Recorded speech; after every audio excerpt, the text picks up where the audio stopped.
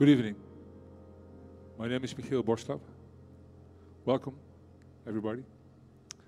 It's a big honor to be here and to be at the stage of Dr. Paul, who's a hero himself, a scientist, entrepreneur, and we share the love for music, the love for the piano. Dr. Paul was a very fine pianist.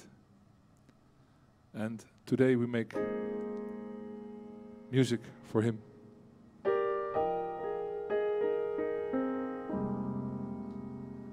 I play for you, but I have one of the best singers waiting to play for you, to sing for you.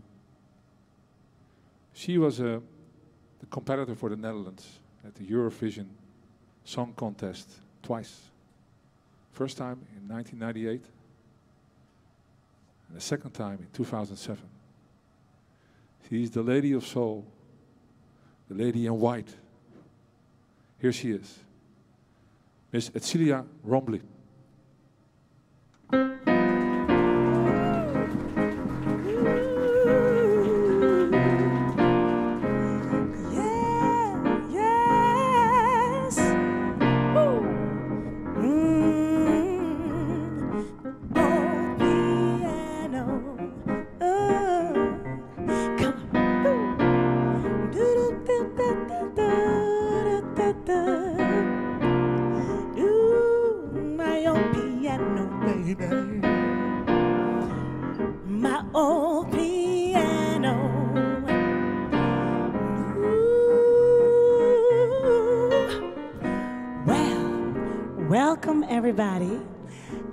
Great to be here, I must say. I hope you all will enjoy the evening or afternoon or morning. I mean, everywhere. It can be any time. So I just want you all to relax and also enjoy this evening, but especially to go home and dream of making this world a better place. And the person that does that a lot is a beautiful lady, and she's going to be your host today. She writes, she presents. I want everybody to give her a warm welcome. Please, everybody, give it up for Sabina de Vos. Woo! Thank you. Wow. What a great welcome. Thank you, Edsilia Rombley. Thank you for the wonderful music. And if you think, oh, what a shame, we only heard like one minute of that beautiful song. No panic, Edsilia will be back at the end of this ceremony to play the complete My Old Piano song. So, ladies and gentlemen, a very, very, very warm welcome, a very good evening, or as Edsilia said, good morning, good afternoon, because we have people watching online on Facebook and YouTube, so they could be watching from wherever but especially a very warm welcome to everybody here with us tonight in this Janssen compound that would not have been here if it were not for one person. One person can actually change the world, like Dr. Paul Janssen did. He didn't like people to call him Dr. Paul Janssen. Everybody seemed to have known him as just Dr. Paul. He didn't mind much on hierarchy. He liked more horizontal structures, people working together as a team. And as a team, they have accomplished a lot. Here in Beerse only, 4,000 people work. And that's all thanks to Dr. Paul Janssen. So we are very honored to have his uh, wife here, Mrs. Dora Janssen. A very warm welcome to you, and I guess a lot of people from the Janssen family, because you had five children together, am I correct? And a lot of grandchildren, yes? And of course, a very warm welcome also to our two winners, our two award winners of this Paul Janssen Award for Biochemistry. We will see them a lot more tonight, but I already want to say we're very happy and delighted to have you with us, Dr. Uh, Ulrich uh, Hartl from the Max Planck Institute in Germany, and uh, Dr. Arthur Horwich of the Yale University, the School of Medicine. Thank you so much, and already congratulations a little bit. We also have a large division people of Johnson & Johnson, our American family, who uh, were able to join us tonight for this ceremony. Tonight is all going to be about science. Without science, nothing ever happens. There wouldn't be life, nothing would change in life, people would still die of futile diseases. So we absolutely need scientists, and we need prizes like these to help scientists to do their job. And we have been given this prize for the 13th time this year. And we're going to hear a lot about proteins, but it's not all going to be on uh, difficult words tonight, on the contrary. By the way, I'm very honored that I have been asked to be your host tonight because Janssen and I, we share values. I have been the voluntary ambassador for Kunina, which is an NGO not very far from here, in Geel, in Belgium. And we have been helping for 30 years children to get a diploma, to be able to go to school. And we have done that also together with the Janssen family a couple of years ago. So we share the values of making this place a better world, as Edsilia said. And also, I happen to be in love with a neurosurgeon. So we are currently writing a book on the functioning of the brain for a very broad public. So the content of tonight's award is very special to me as well. So ladies and gentlemen, let make, let's make tonight a celebration, not a very strict ceremony. Let's celebrate science and everybody who contributes to make science possible. And what a better way to celebrate the champions of science by inviting my very first two guests to the stage. I would like to welcome Dr. Paul Stoffels, Belgian Paul Stoffels, Vice Chairman of the Executive and Chief Scientific Officer of Johnson & Johnson, and he will be joining Mrs. Seema Kumar, the Vice President, Innovation, Global Health and Science Policy Communication, also Johnson & Johnson. Dr. Stoffels, Mrs. Kumar, please join me on the stage.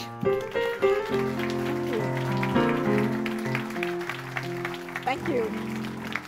I hope we are not supposed to dance now. Hmm? We can. But, uh, uh, first of all, uh, um, welcome to everyone. Janssen, uh, our, ex our, external guests, thank you for coming on this rainy day here. Uh, Madame Janssen, Ajit, uh, um, meneer Stouthuizen, Stef uh, en Staf Reet, denk ik. Yeah. Um, all welcome, uh, the previous CEOs of and the current CEO of, Jan of the Janssen campus. Very welcome uh, to this great event now for the 13th 13th year. 13th. Yes, indeed. So yes. And uh, let me uh, echo that. And on behalf of Johnson & Johnson, let me say a very warm welcome to all of you. Uh, here we are once again in my favorite place, which is the home of Dr. Paul in this beautiful research campus. And so it's lovely to host all of you here and uh, for a very, very special, special, special evening. So, Paul, um, I think it was about 15 years ago, in 2004, you and I were part of a team that was working between 2004 and 2006 on how to honor the legacy of Dr. Paul. And we came up with one way to honor him, and that was the Paul Janssen Award for Biomedical Research, which we established and announced in 2004, and the first one was given out in 2006. But really, let's circle back to Dr. Paul and his legacy, because really what we are here to do is to honor his legacy. You, of course, were a student uh, and a mentee of Dr. Paul. Talk a little bit about him and his well, legacy. Yeah. Um, Dr. Paul was a single focused scientist, physician, with a single focus on how can I make patients better and uh, bringing the best science with a real focus on making impact on health was the DNA and is still the DNA today of the company. And today still we continue that DNA where we, where we connect the best science with, with significant impact uh, on patients. And we still build on that legacy. Um, with in the, especially in the mental health franchise, in, in the HIV. This year we had another big uh, uh, win with uh, once every second month HIV injection. The last drug of Dr. Paul, which we have been working on for now more than 20 years, and it had another big win, now six injections a year. So we continue to be entrepreneurial, connect the science, and make a difference for patients in all of our organization. And that has made us from a small company Today, we are the number one pharmaceutical company in innovation in the US, and we have become the number three in the world. And it's all based on one thing. focusing on the patient and making the difference for life. Yeah, and of course, you know, the work in the Janssen pharmaceutical companies of Johnson & Johnson was just extraordinary that Johnson & Johnson has named its entire pharmaceutical enterprise Janssen, right? I mean, that was the or origin, but it's now become like the biggest legacy ever. All the work that's going on by scientists here and around the world under the Janssen name, is it not? And give us a couple of examples. Well, having the name of Dr. Janssen was having a soul in the organization, a real soul organization, which is all about people. And it are people working for people, it are scientists working for patients. And that's that real soul, heart and soul in an organization is what makes the organization work. Yeah? And we also always say in a business, it's very challenging to say to people, bring your heart and your soul to the company. But in Janssen, that's the possibility. People can work on what they like, what they focus, they can choose their focus, they can be part of teams who for 5, 10, 15, 20 years sometimes work on new applications, new drugs, new, new science, and many of those come to fruition after a very long time. But that's the heart and the soul of the organization. Don't give up, work hard, one focus, and make the difference. So talk about a couple of examples, though. I want to press you on that. So let's take HIV or TB. Talk about the work that's going on in TB, for example, and in HIV. Well, still uh, from the old days uh, to now, we, uh, we have been working on HIV, and I told you a few times about that the first real studies we did was 16 pills twice a day. Today, and that was like 20 years ago, people survive. Today we are one pill once a day. Now we are one injection once a, month, once a month, one injection once every second month, so six injections a year. And now we are working on an HIV vaccine. So the science we started back in the 90s is still yielding a lot of great, uh, great new products today, and that that's a great business, and also that allows us to reinvest. The TB uh, started uh, so long ago, and I think it took us almost 20 years to do it. But what was amazing in this year was we treated probably the first 150,000 people uh, over the last two to three years with a mortality reduction from 80 to 20% in XDR-TB. A real breakthrough. And we discussed earlier with the winners, the target is quite exceptional. The ATP synthase, uh, nobody ever would talk we could do that. In, in mental health, we built on, on the legacy of of Dr. Paul with the Haldol, Haldol, Haloperidol, uh, and then the long-actings, we were now on once every three months, and we are now studying once every six months. So two injections for schizophrenia a year. And on top of that, we are now building this also out in Africa for people who have absolutely no access to healthcare. We started a program in Rwanda for mental health with very nice results also there. So just a few examples.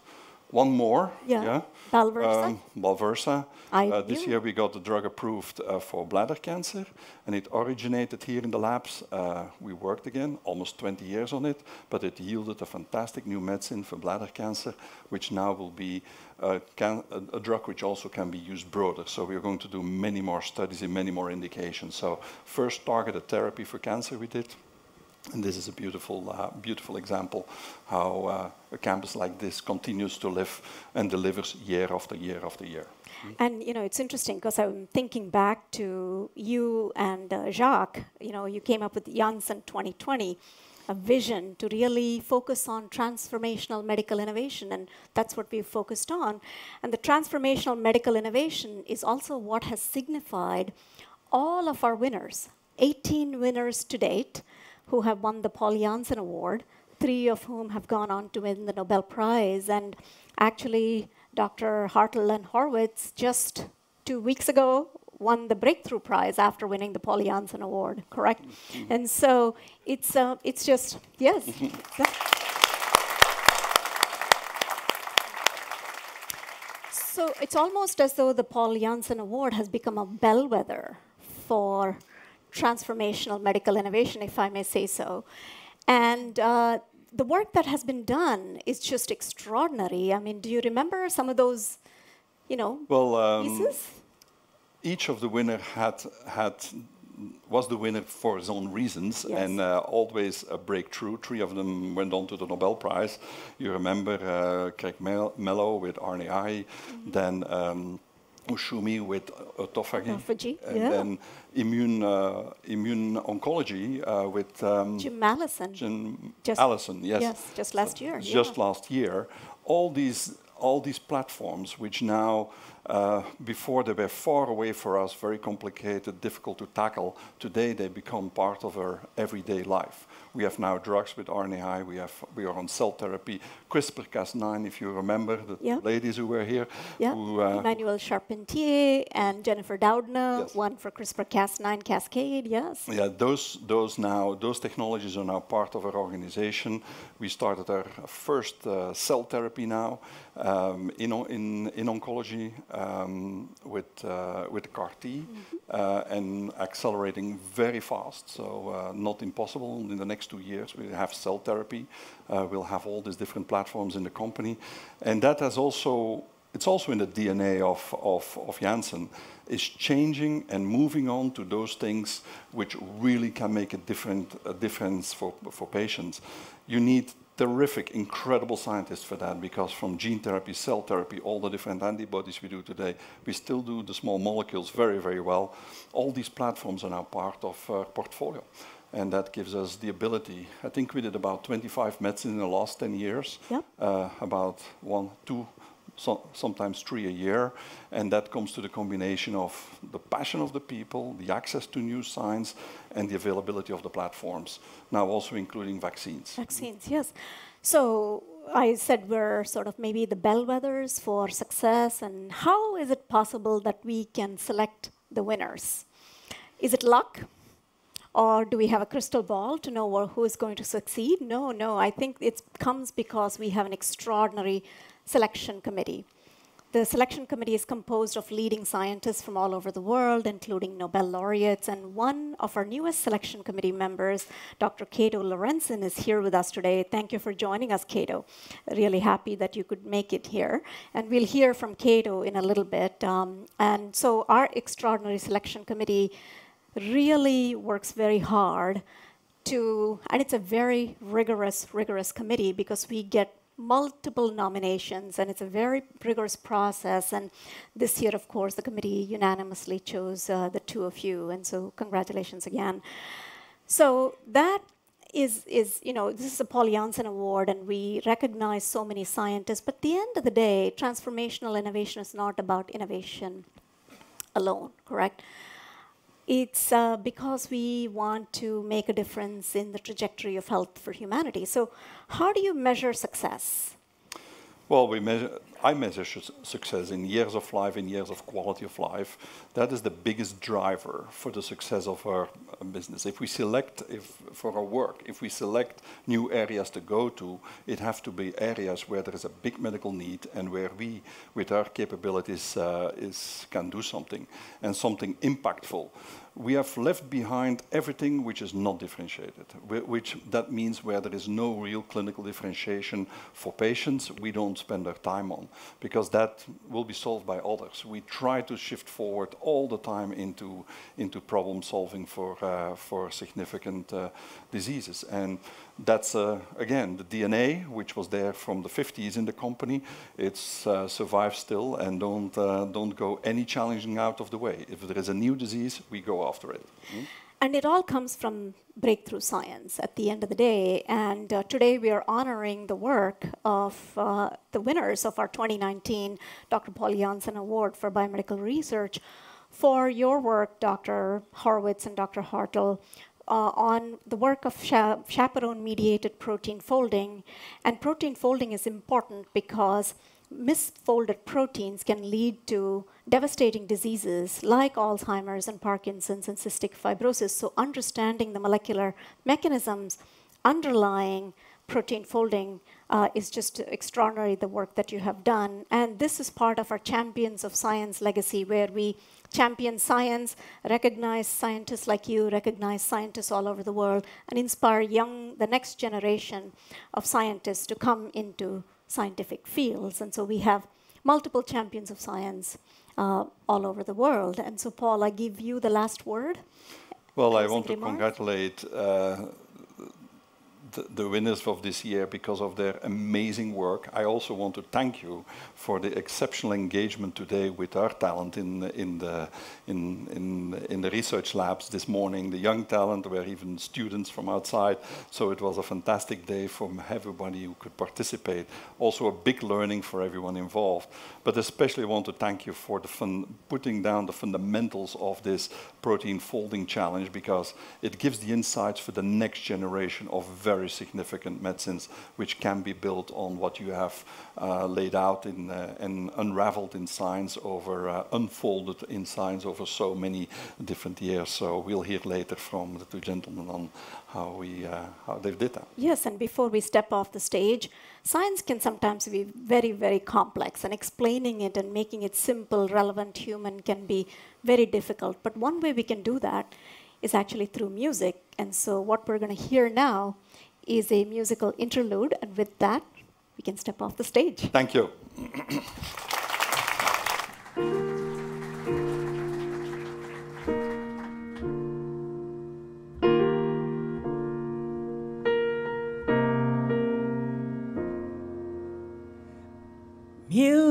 Speaks louder than words. It's the only thing that the whole world listens to. Music speaks louder than words. When we sing, people understand. Sometimes the love you feel inside. Get lost between your heart and your mind. And words aren't really saying the things you wanted them to. But then you hear in someone's song what you've been trying to say all along. Somehow the magic of music, the message come true. Music speaks louder than words. It's the only thing that the whole world listens to. Music speaks louder than words when we sing people understands. The longer I live, the more I find that people never take the time to really get to know a stranger and make him your friend. But the a simple song can make everybody feel they belong.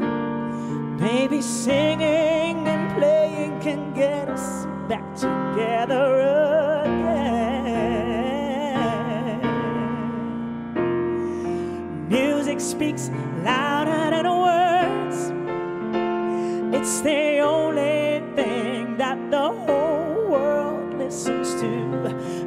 Music speaks louder than words when we sing. People understand. Come on, one more time. Music speaks louder than words. It's the only thing that the whole world listens to.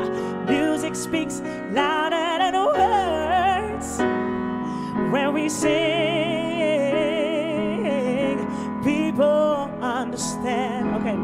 your help. Here we go. Music speaks louder than words. It's the whole wide world that everyone listens to. Music speaks louder than words. When we sing, people understand. One more time Music speaks louder than words. It's the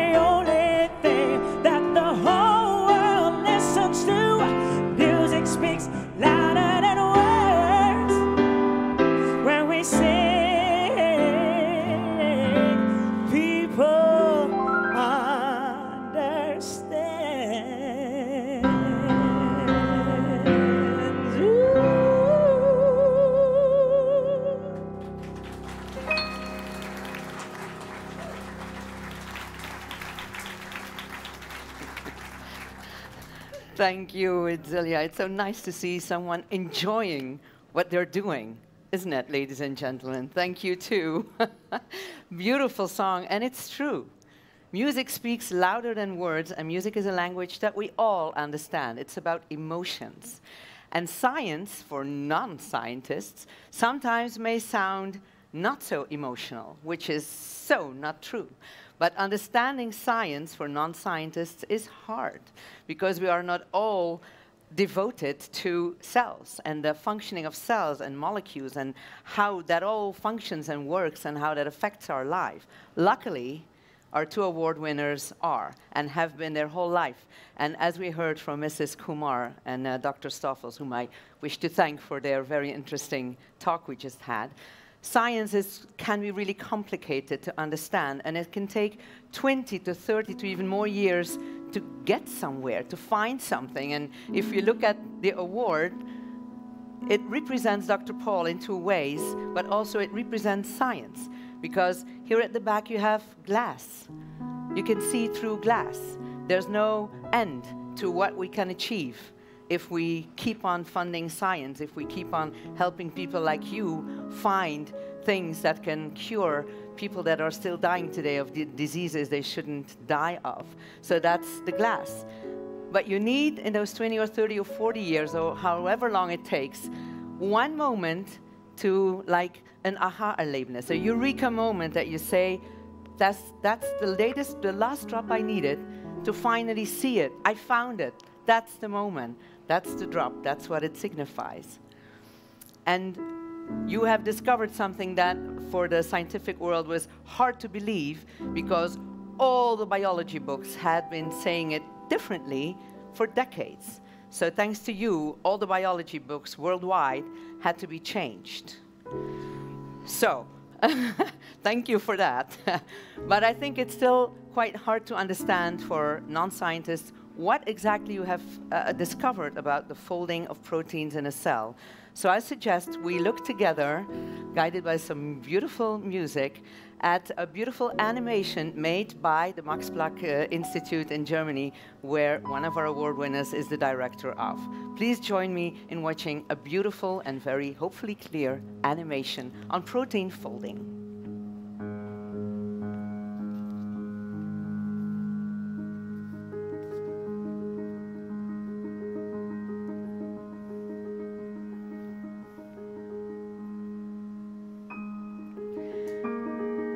Cells are the basis of life. Their machinery of proteins make our body function well.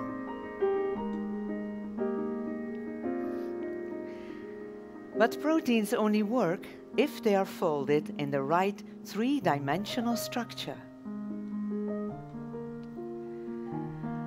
Proteins that are not neatly folded can be harmful or cause diseases such as Alzheimer's and Huntington's disease.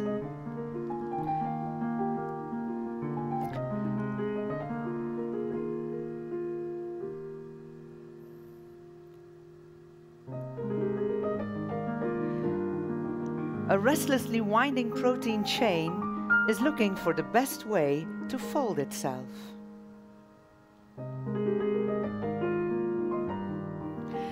It looks like a chaotic and unclear process. Due to the tiny molecular level on which it all happens, you can hardly follow the process. But a correct folding is essential for the functioning of the protein. Incorrect folding can cause protein clumps that are harmful to the cell.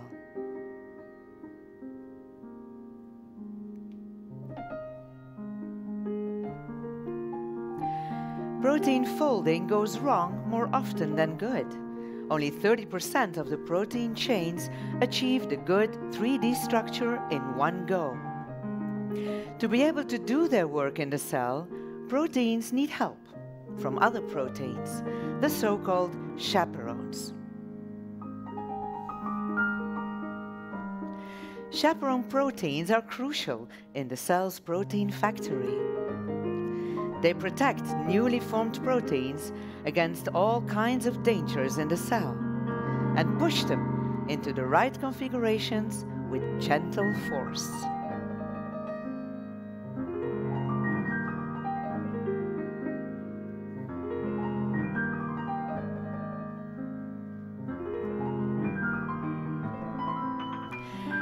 They seem to make the search process for the best form more efficient.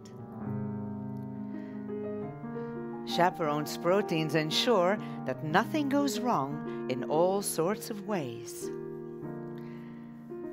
Newly formed proteins are taken to the chaperone room.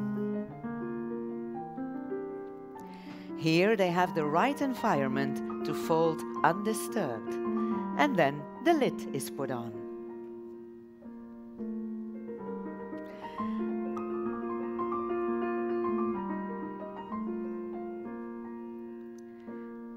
The protein is functional if folding was successful.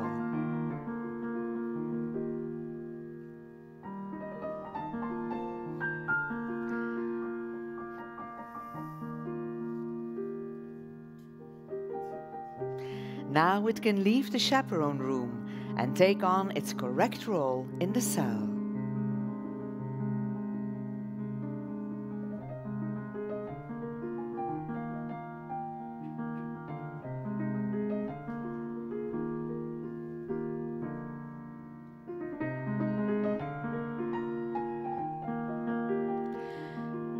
We get older, the ability to produce extra chaperones decreases and cells become vulnerable. Misfolded proteins and the clumping of misfolded proteins in the cell cause protein folding diseases such as Alzheimer's, Parkinson's, and Huntington's disease because they poison our bodies.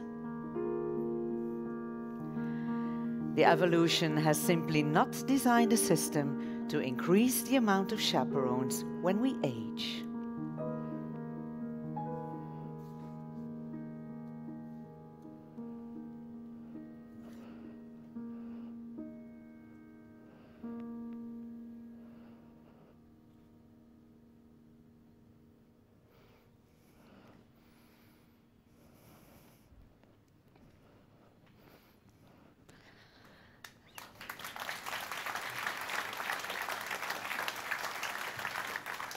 An applause I take for the animators of the Max Planck Institute who made this wonderful animation that hopefully was completely correct, which we will hear in a second. Otherwise, don't blame me. but as you can understand, uh, especially the scientists among you, um, that was a quite shocking discovery you did. It really shook up the whole world of science. So I think it's about time we give the stage to our two award winners of tonight and uh, crossfire them on protein folding. Please, a very warm welcome on the stage for our two award winners, Dr. Hartl of the Max Planck Institute in Germany, of which, please take a seat here. He is the director, and Dr. Horwich of the Yale School of Medicine. Gentlemen, doctors, welcome. Thank you. Thank you. How are you feeling? Very good. thanks to you. oh, thanks to me. Oh, that's gentle. Thank you. Let's have a drink later on. How about you? Excellent. Yes? Nice day. um, you have, I've read your biographies, of course. You, both of you have won so many awards. You have gotten so many honors. What makes this Paul Janssen Award for Biochemistry special? In what way is this a special one for you? Except that maybe afterwards you win a Nobel Prize, of course. Well, it's, it's a very special award because it's named after Dr. Paul, who was such an inspiring scientist, and uh, we have admired him for many years. And uh, to be part of this, to honor Paul, Dr. Paul, is, is really a great privilege. Mm -hmm. What about you? I think that holds for me. Yeah. Um, also, I think we revere the colleagues um, that we know on the uh, awards committee for recognizing us. Um, and I think we're especially honored to be here today and get to see the Janssen operation close up. That was a thrill.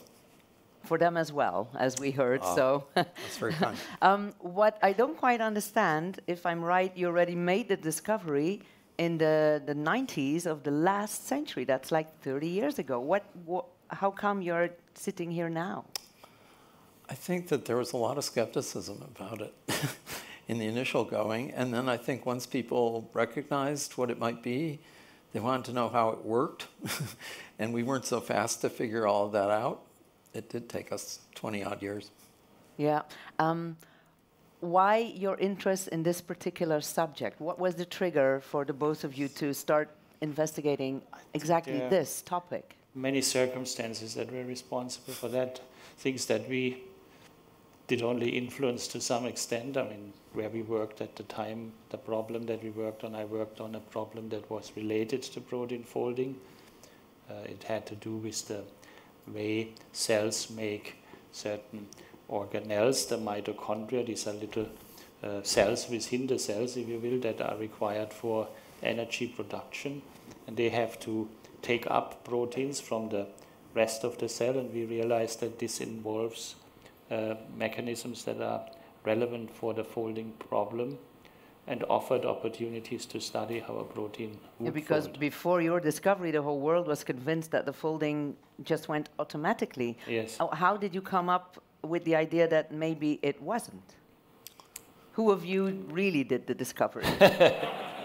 I think it was pretty mutual.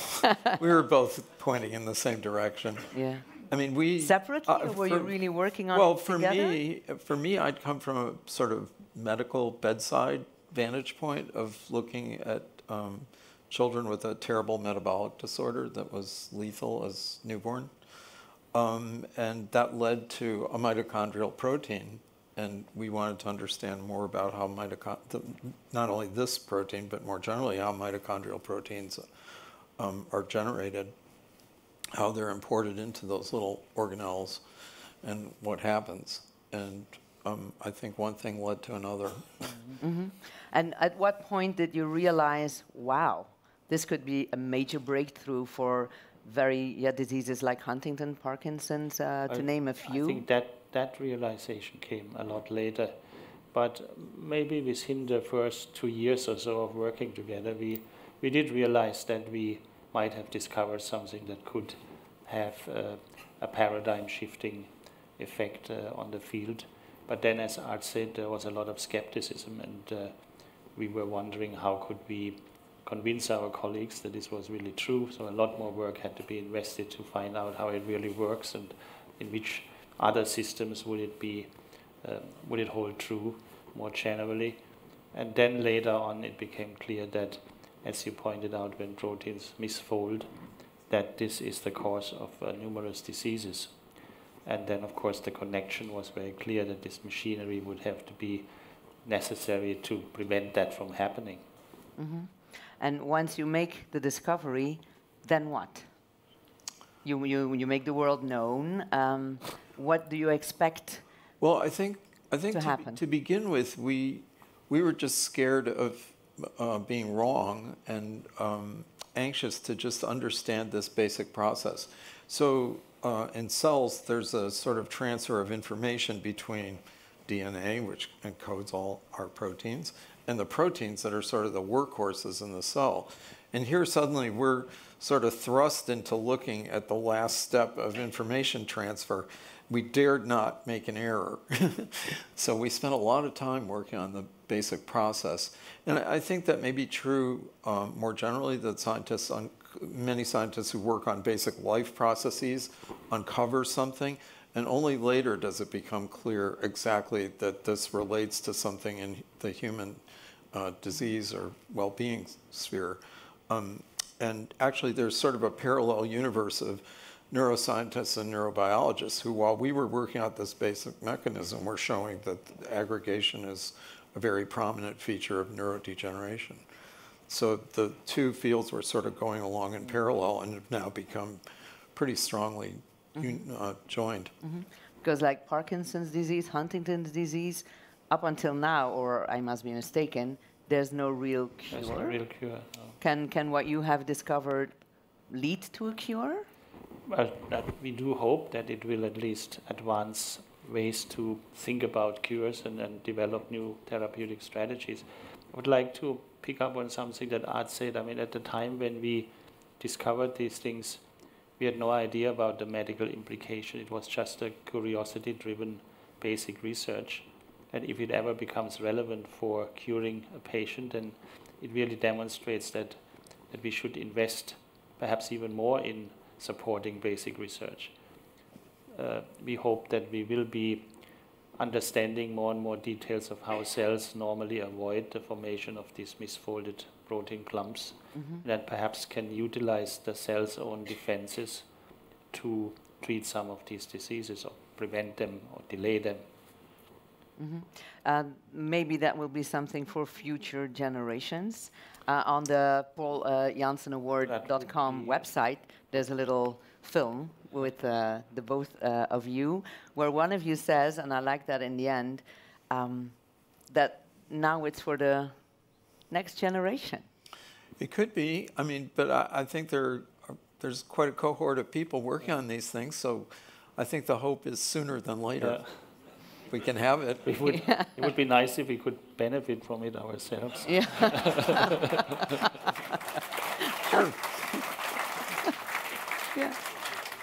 Um, because science for non-scientists, it, it, looks like a very sturdy business where you're very uh, serious the whole day, but apparently that's not the case. I heard in labs it can be yes. fun to work. Yes. Of course.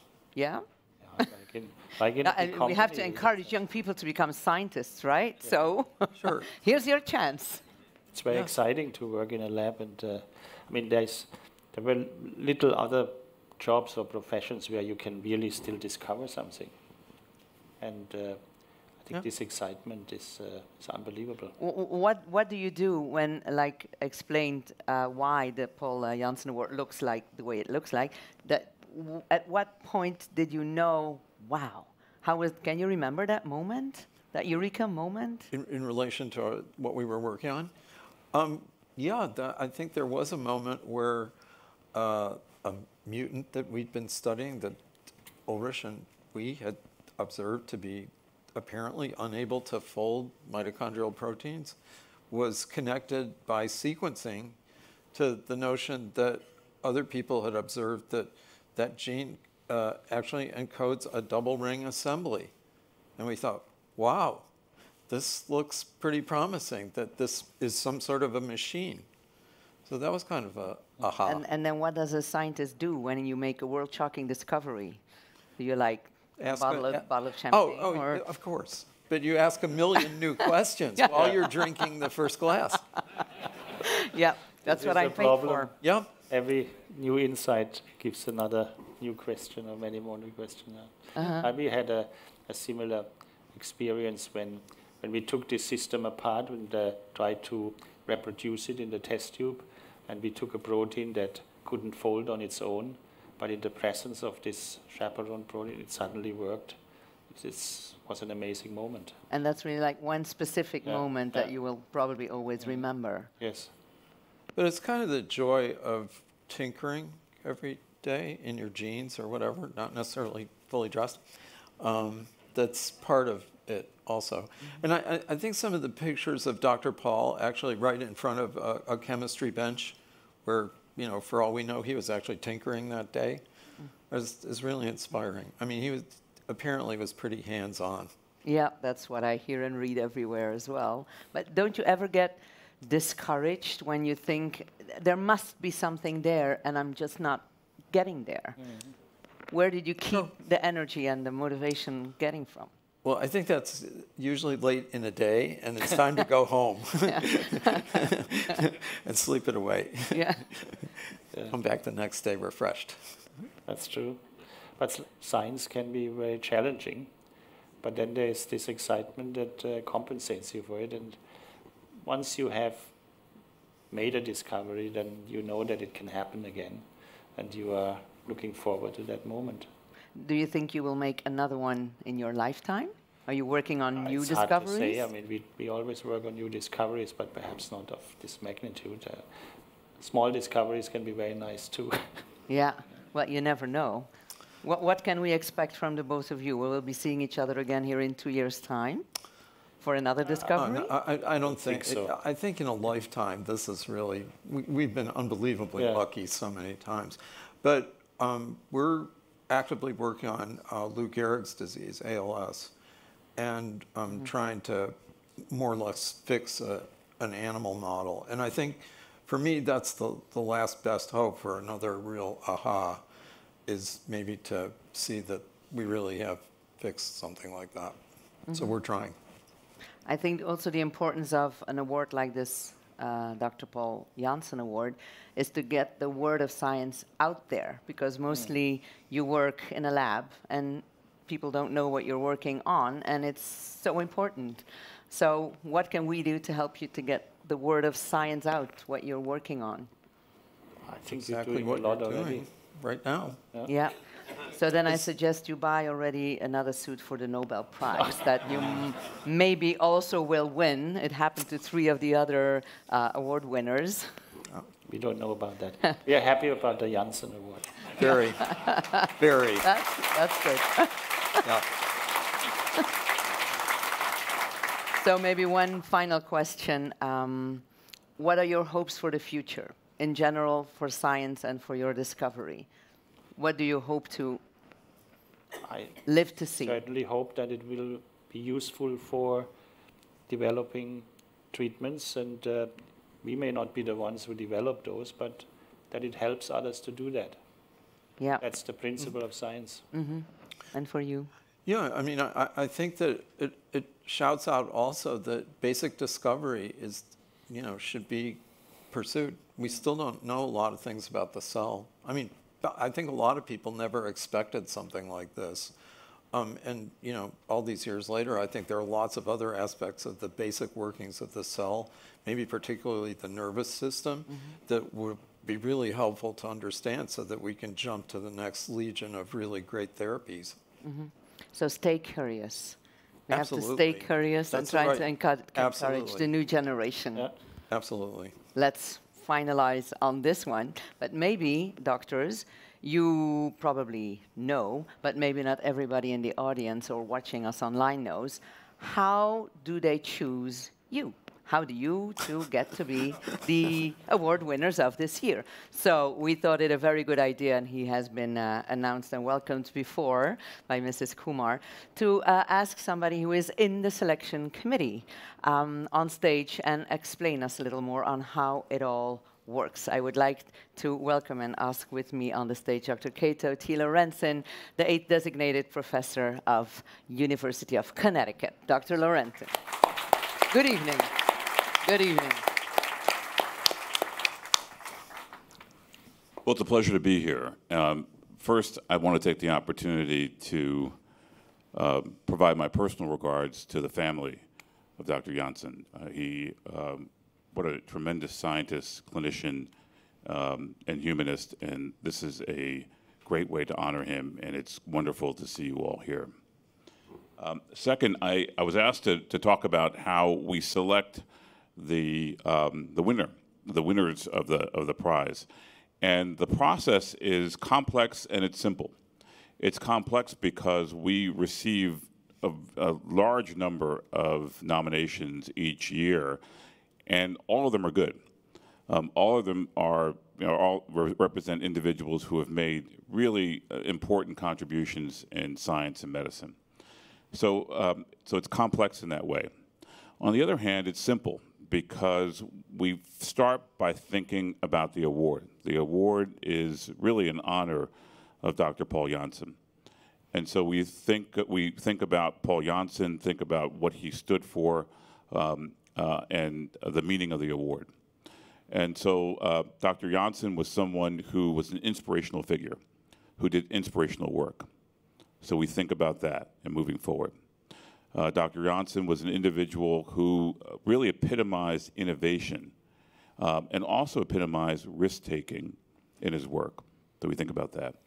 But the bottom line is that one can be inspirational and one can be innovative, but you have to achieve. You have to actually have a result. And, um, and that achievement should have some relationship to being able to help people, because Dr. Janssen was someone who um, really was concerned with the lives of people. He had an urgency in terms of creating new technologies, new medications to be able to help people. So, um, with that in mind, the committee thinks about the individuals that are there. It's a long process. We get a set of applications and we go through them, then we then we go through in iterations. But the applications really don't say the same, the whole story. So we go back, we go in depth, we um, we read primary literature and primary papers, we look at the history, and come to a conclusion. Um, and everyone had, comes from a different background. I'm a surgeon, I'm an engineer, uh, others are maybe biologists, but we still use the scientific method in terms of being able to come to conclusions. Um, in, in the case of Ulrich and Art, um, just I could just say this personally. Um, I, I remember back in medical school, I went to medical school in the 1900s, and and I remember my professors at Harvard Medical School um, telling me about protein folding and how it occurs spontaneously without any additional help. hydrophobic, hydrophilic interactions taking place and that help guide it. We would shake our heads, and because our professors at Harvard would tell us that.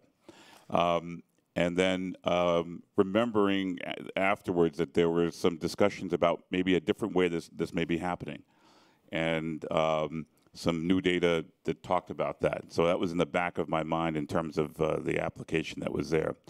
Um, and then being able to revisit the the uh, this uh, this nomination and look at the vast amount of work that's taken place from the time in which the first contention, the first theories were brought about to the point in which uh, these theories were proven is really remarkable.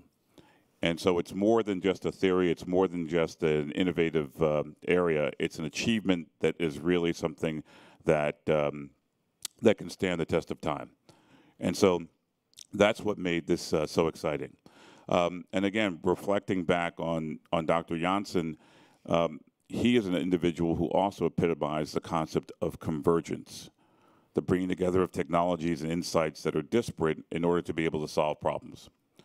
And um, this technology, this, this, this, uh, this work by this pair really epitomizes convergence, bringing in areas of genetics, biology, chemistry, physics, neurology to be able to, to address an issue and solve a problem.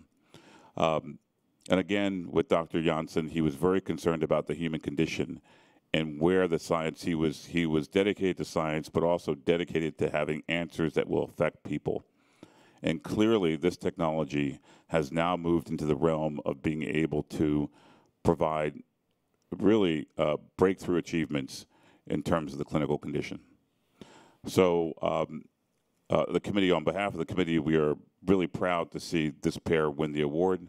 They're so well deserving, and um, it's an honor for me to be able to congratulate both of you. Thank, Thank you, so much. much. Thank you. Thank you.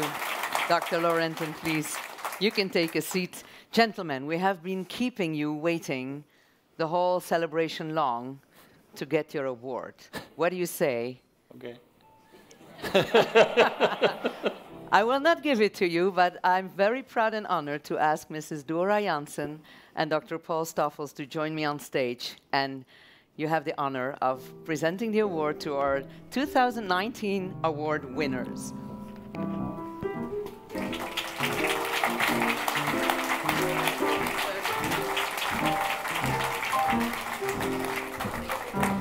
Thank you so much.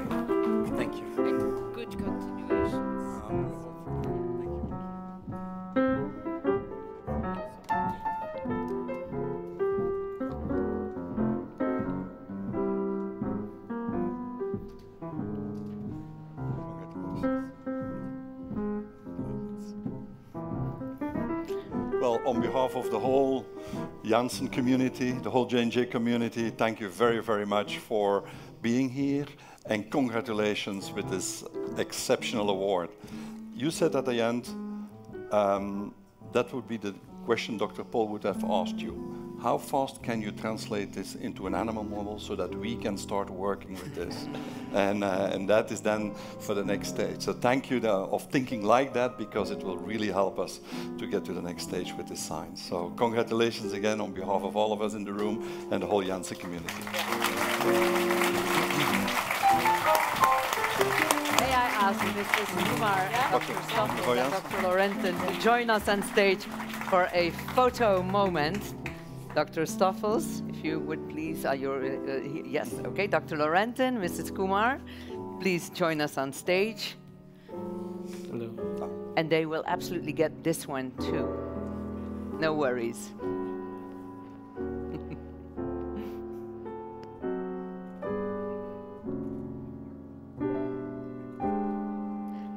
So we can all breathe again. Except our two award winners, who I will ask to stay on stage. Everybody else can please take a seat again. Gentlemen, um, I think it's about time we give you the time and honor to say a few words. And I don't know which one of you wants to begin. I'll go first. Okay, Dr. Horwich, please be my guest.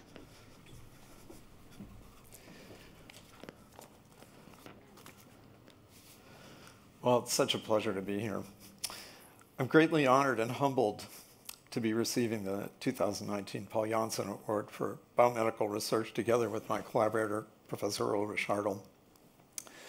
I've known about the work of Dr. Paul since my time in medical school uh, in the early to mid 70s. In pharmacology, his compounds were already textbook material in my, I just pulled it out the other day, uh, Goodman and Gilman, fourth edition of pharmacology, uh, 1970, including already uh, Lomotil diphenoxylate, uh, the antipsychotic haloper haloperidol, Haldol, and the mainstay opioid of anesthesia, fentanyl. I mean, I've never been in an OR where fentanyl wasn't used. And I met these compounds firsthand during my clinical training, probably seven or eight different compounds of Dr. Paul's that I already uh, used as a medical student. Dr. Paul had, a, a, I think, a singular genius for relating what he knew from medicine, the physiology of patients, uh, and chemistry, being able to think down to the level of organic small molecules uh, and being able to think about how he would modify them to modify physiology.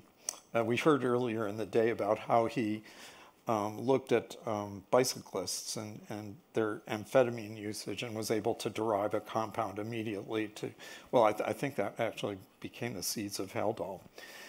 Um, this, uh, uh, Dr. Uh, Sir James Black of um, beta blocker development, I wrote something that I really enjoyed reading he described how Dr. Paul uh, saw meperidine, identified earlier as a compound, uh, as a piperidine derivative uh, that had two actions, a strong antispasmodic effect, but also a strong and addictive analgesic effect.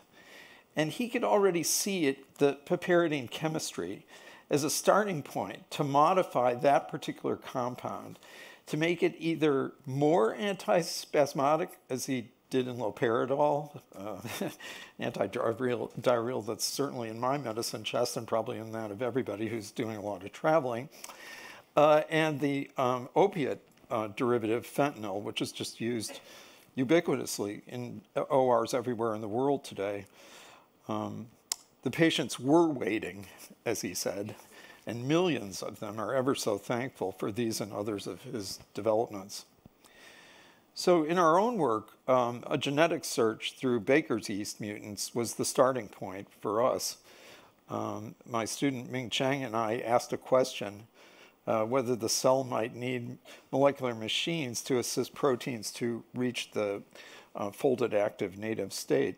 And to our surprise, we found evidence that there might be such a thing among a collection of mutants, that uh, mitochondrial import mutants that we were studying. And we were very lucky. Just at that time, we were uh, we received a, a, phone call from Ulrich and from Walter Neupert, who wondered if they might be of some help to us in analyzing some of our mutants. Uh, they did not know at that moment that our tiny lab profoundly needed uh, their help to go forward. And what a delight to have that collaboration, uh, the shared understanding of big questions and how to experimentally address them, their boundless understanding of mitochondria and skills in mitochondrial biochemistry, and their companionship. Uh, Walter, who recently passed away, really became a father figure, energizing but also gently advising and guiding his excited brood, Ulrich and Art, and our teams. Um, it supercharged a three year period of absolute electrical intensity as we progressed on dissecting the physiology of these ring machines in cells, in organello, and with isolated components. Then moving more generally to understanding in vivo folding pathways, as Ulrich did, and to beginning to describe the magic of these double ring machines in biochemical terms, as we both did. I'm deeply grateful to many people. Uh, my mentors, Mike Czech at Brown, uh, now um, a director at UMass Med uh, Research, who awakened my love for design, execution, and analysis of experiments. Uh, Tony Hunter and Walter Eckhart, who taught me molecular biology. I watched Tony discover tyrosine phosphorylation. That was a really exciting moment. Leon Rosenberg, who taught me human genetics and how to organize and express ideas. Paul Sigler, with whom I collaborated for 10 years on X ray crystallographic study of the machine, who taught me crystallography and was like a father figure to me. Helen Saibil, our peripatetic EM collaborator, providing amazing images of various reaction intermediates in the chaperone reaction cycle. And Kurt Wuthrich, who provided incredible NMR spectra of the gigantic GROEL complexes, gigantic for NMR type of acquisition, and he did it. And I'm grateful to my team of wonderful trainees and additional collaborators. I could mention just a few. Ming Cheng, of course, who was one of my first students who came to Yale as a young physician from Taiwan, wanting to um, explore fundamental genetics. Kerstin Braig, a visiting student from Berlin, originally scheduled to visit for a year, but she stayed for four, particularly after she crystallized GROEL. Zbyszek Otwinowski, a remarkable crystallographer in Paul's group, the producer of all the data reduction software that the entire X-ray community uses, who solved the structure of GROEL once we got him a heavy atom derivative in a single day. Jonathan Weissman and Hays Rye, who worked out topology of the machine and its ligands and their arrival and departure. And more recently, Adriana Petri, a terrific biochemist, now a member of the Janssen team here in Europe uh, and mixed into all of the discoveries, supporting all of them on a steady basis. My senior team members, Wayne Fenton, George Farr, Krystyna Furtak, who've been a wellspring, wellspring of thought and action in all of the work. We've logged almost 90 years together. Uh, and I'm grateful to my family, my parents who were ever supportive of my almost crazed interest in science as a kid, and my own kids who have tolerated my involvements in experiments, reading, writing, travel, but who have also taught me to uh, put it all down for a while, ski, fish with them, throw the trouts back, how to handle uh, um, the inevitable defeat by them on the tennis court as they've gotten better and better over the years. Uh, and finally, Martina, my wife, the love of my life, uh, who's uh, just been supportive throughout it's been a, a huge amount of fun. And I've, I want to thank you all for making it really very special for me today. Thank you.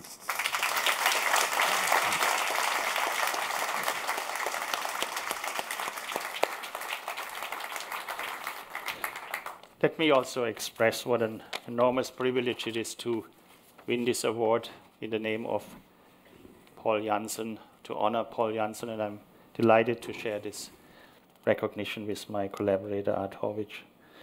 I'm really grateful to the award committee for recognizing the advancements our field has made in understanding the machinery of protein folding and also the potential that these insights have for developing new treatments of diseases such as Alzheimer's and Parkinson's disease.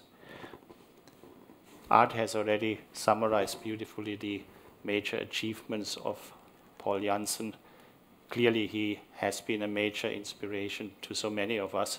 In fact, I read somewhere that in Belgium he's more famous than Eddy Merckx. the famous Tour de France bicyclist. I'd also like to thank many students and postdocs I've had the pleasure of working with over the years, mostly my wife and partner in science, Manajit. I would have to say that while we have made important discoveries, I think my most important discovery was to find her.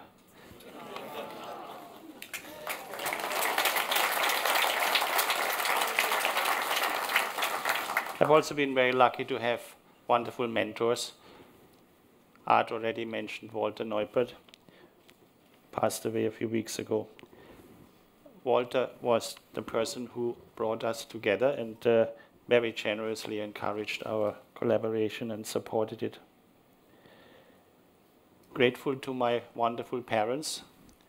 They always encouraged me to follow my dreams. Fortunately, they can no longer see how it worked out. And finally, let me thank all of you for being here tonight to celebrate with us. It has been a fantastic day. Evening is not yet over, and I hope we have a lot more enjoyment. Thank you very much.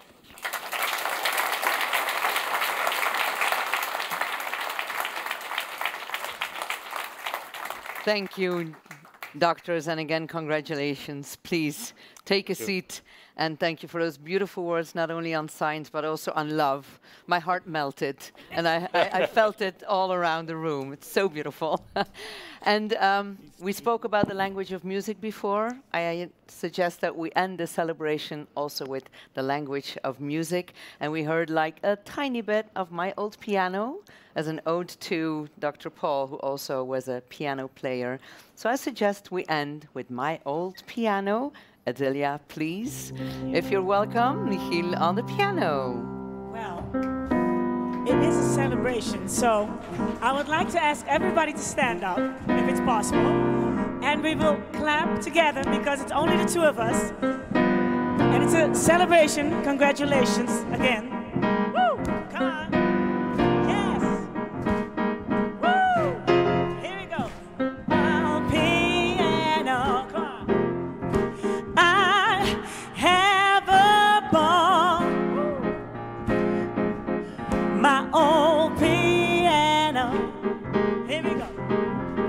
My baby entertains every life of my body and still retains the air of dignity. His royal venerable style extends an air of people. 80 80 keeps smiles, keeps so pleasant to see. I said, Love is cold.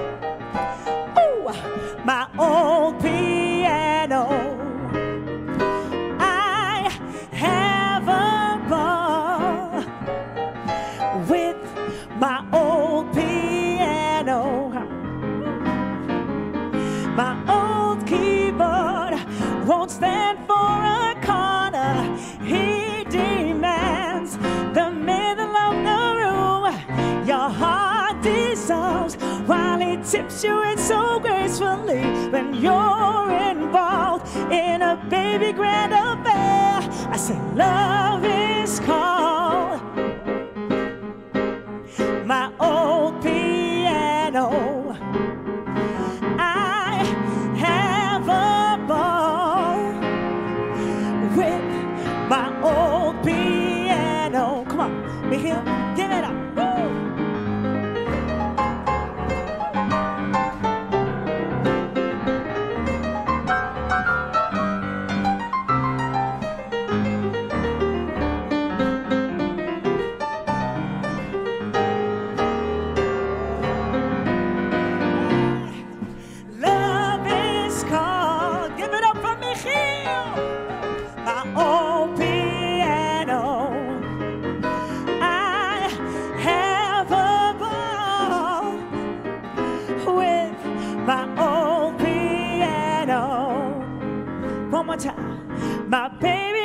entertains every life of my party and still retains the love of dignity.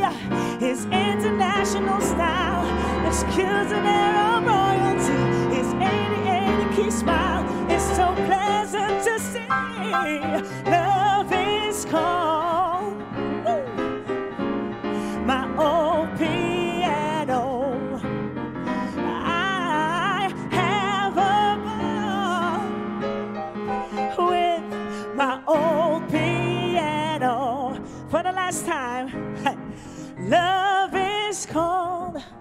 and then I want you to sing my.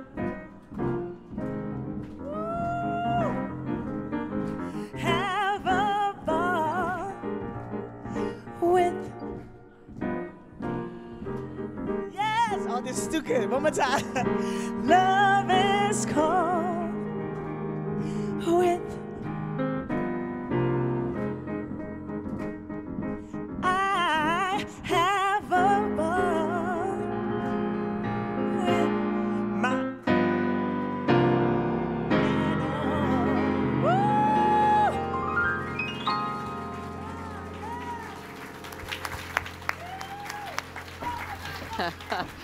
Thank you, Edsilia. Thank you, Michiel. I thought you were going to dance with me. Thank you, our two award winners. Thank you, all the Janssen family. Thank you, all the Johnson & Johnson family from the U.S. Thank you, ladies and gentlemen, for being present here with us tonight. We are very honored that you are all here. Thank you to all our spectators worldwide, online, through Facebook and uh, YouTube. We are going to have a little celebration. Instead of the ceremony, let's celebrate. And I suggest you all do the same. Thank you very much.